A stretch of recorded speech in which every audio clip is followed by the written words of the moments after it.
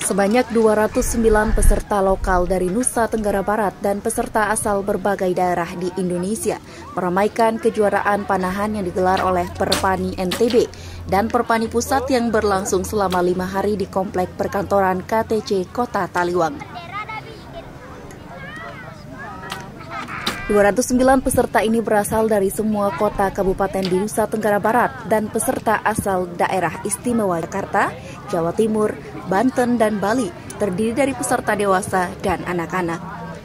Bupati Sumbawa Barat Muhammad Musyafirin mengatakan, kegiatan ini akan digelar selama lima hari dengan peserta lokal NTB dan peserta dari beberapa provinsi di Indonesia.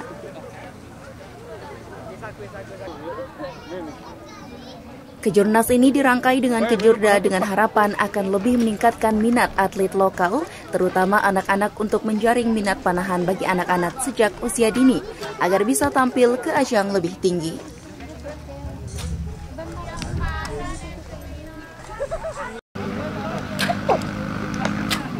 Jadi ini kita coba, eh, mudah-mudahan ini kejuaraan ini bisa memantik hmm. bisa memotivasi hmm. para atset atseri yang ada di provinsi Nusa hmm. Tenggara Barat pada khususnya. Hmm.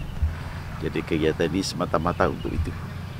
Nah dan kita berharap juga kita mengundang Bapak dari pengurus BP Perpani Pusat hmm. ini beliau hadir Pak Sekjen mudah-mudahan ini bisa dimasukkan pada kalender tahunan reguler hmm. setiap bulan November kita mengadakan kejuaraan terbuka secara nasional ini di Kabupaten Sumbawa Barat. Makanya ini kita jod nih, kita gimana kita perbanyak lomba-lomba ini ya supaya ke depannya nanti kita bisa mencetak archer-archer yang handal itu yang bisa berbicara di nasional maupun internasional. Sementara itu, Sekretaris Perpani Pusat Muhammad Rizal Barnadi berharap kejurnas panahan di NTB akan memunculkan atlet yang bisa membawa NTB ke ajang nasional. Ke depan, kejuaraan panahan di NTB ini bisa diikuti oleh semua provinsi dan juga peserta internasional.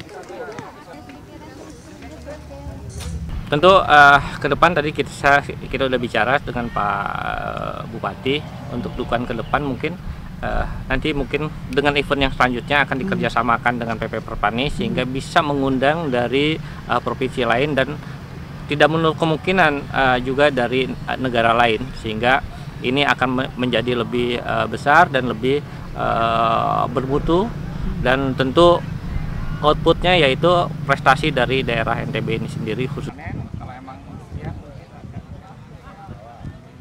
Ibu Bupati yang saya hormati Kejurnas ini akan berlangsung hingga tanggal 9 November 2019 mendatang. Dari Kabupaten Sumbawa Barat, Nusa Tenggara Barat, Topan Iswandi, Get TV.